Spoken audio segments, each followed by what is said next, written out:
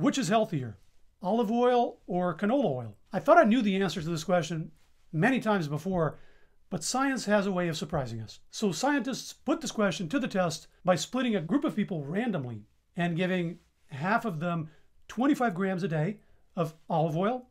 So that's about 230 calories. It's about 10% of calories for the day, give or take. And they give the other group the same amount of canola oil. And a third group also got another oil, sunflower seed oil. They were asked to add the oils to their meals after cooking. So this addresses the health effect of the oils themselves, but not the effect of cooking, of heating the oils. By the way, this study had no industry funding, so no seed oil industry, no olive oil, no dairy, butter, no industry funding, period. After 10 weeks of this program, they looked at their blood work and some other parameters, so lipids, insulin resistance, and also metrics of fatty liver. The sunflower seed oil had no effect on anything, no significant change on any of the metrics. The olive oil improved fatty liver, so fewer people have fatty liver after the olive oil compared to before.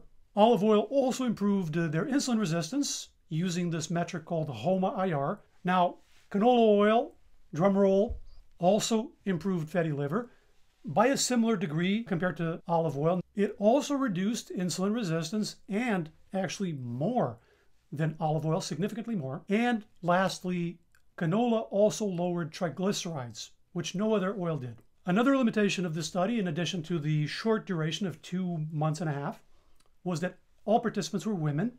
They all had PCOS, polycystic ovary syndrome.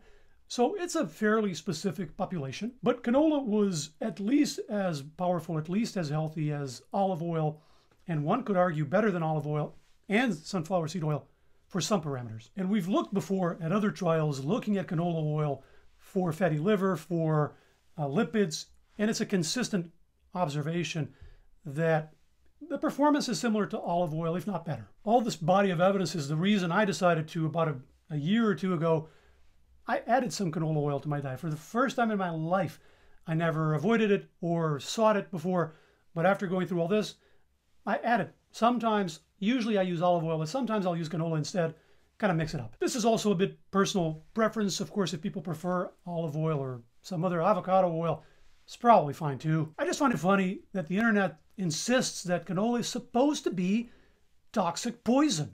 It's supposed to be killing everyone. But when we go through the science, it tells a very different story. Here's a lot more on canola and health effects on different parts of your body. And here's a lot more on olive oil and cholesterol. Does olive oil raise your cholesterol level? Check them out. I'll see you in there. Bye.